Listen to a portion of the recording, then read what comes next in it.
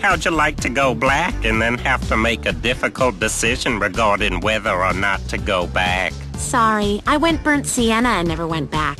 Ready, baby? Who's this clown?